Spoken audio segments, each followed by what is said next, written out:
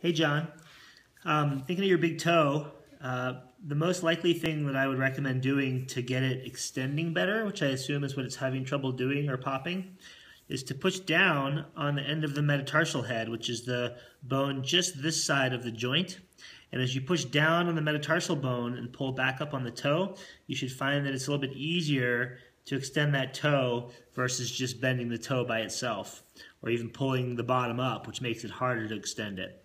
So it's pushed down on the metatarsal, end of the metatarsal, just this side of the hinge as you pull up on the toe. And kind of work that repetitively.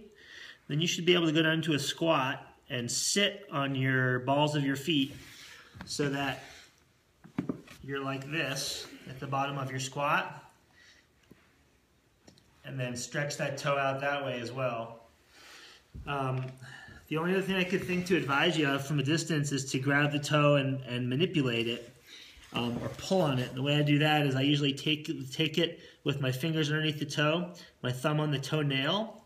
I'll flex it down and I'll pull and I'll give it a quick, quick pull as I'm flexing it down. So it's kind of like this movement. pops it. Um, it has to be a very like pull to where it runs out of tension and then give it a quick pop.